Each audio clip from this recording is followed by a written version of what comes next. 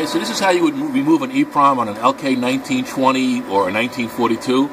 You get an EEPROM puller like this. They're readily available at McMaster's. You want to make sure you get it on both ends of the EEPROM and not underneath the receptacle. On a new machine, it's going to fit in a little tight, so you just got to be careful. Just come out nice and easy and wiggle it out.